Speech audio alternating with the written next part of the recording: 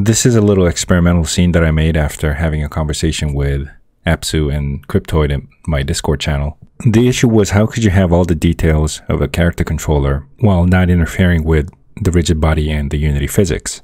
First, let me just show you. Here we have a player represented by a cube. We can walk, and obviously you cannot go through a wall. You can also jump and move around the platform. I have infinite double jumps. That's just not part of the experiment, so don't mind that. But you have a character, the platform, and the wall working pretty well. Now let me show you player 2. I'm going to turn player 1 off, turn on player 2 and play. Okay, if I zoom in a little bit, you'll see that we have the overlap between the player and the wall in this weird twitchy movement. The main difference is that player 1 uses add force to move, while for player 2 I'm directly changing the transform values. Now you might say that's something really obvious, but what makes player 1 special is that if I look at the code, so we're using add force to move, but adding force usually involves momentum and slowing down or speeding up over time, which may not be ideal for a character controller because you might have sudden dash or sudden stops and turns, detailed movement basically. So for this experiment, the point is instead of using the default add force, we're using this force mode, velocity change, which is used for making instant velocity changes. So instant movement is pretty easy. Another important point is having instant stops. Assuming you want to stop as soon as you let go of the key, we add the exact opposite amount of force to make you stop. Again, for instant velocity changes, we're using this mode. And the same concept applies to clamping down on maximum speed. If you somehow happen to go over maximum speed, the exact amount of difference is subtracted from your velocity. Jump is pretty straightforward, you're just adding an upward force. If you're confused about directions, force, and vectors, check out my other video on vector basics. Let me go back and play again. Make sure that I'm using player 1.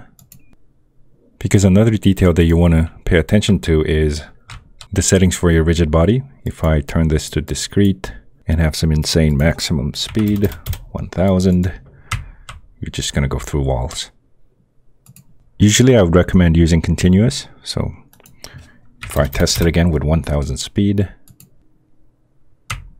okay, we don't go through walls anymore. But a lot of these options will depend on what kind of game you're building. But anyways, this experiment is about understanding that even if you just use add force, you can still have all the movement details. Another important variable here is friction. Right now, player and wall have zero friction, but if they did, see what happens. I can use the friction to stay in midair against the wall.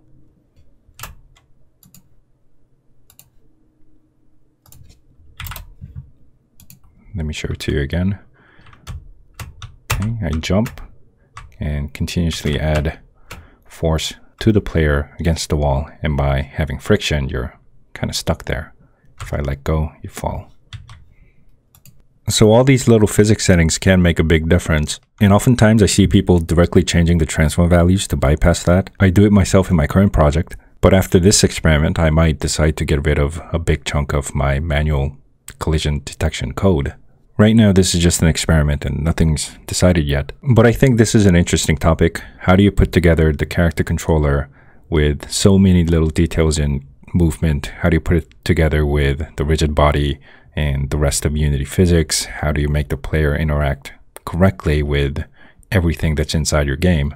I see a lot of people still debating on online forums on how to put together a character controller, and I'm thinking about doing more experiments and maybe turn this into a complete 3D character controller because right now we're just moving around on a single axis. And eventually I might have a 3D character controller where the code is not interfering at all with the default Unity physics. I think it could be a fun experiment and possibly add value to the whole discussion. Okay, so that's it for this video. Let me know if you have any questions. You can reach me on my Discord server. And thanks for watching. I'll see you next time.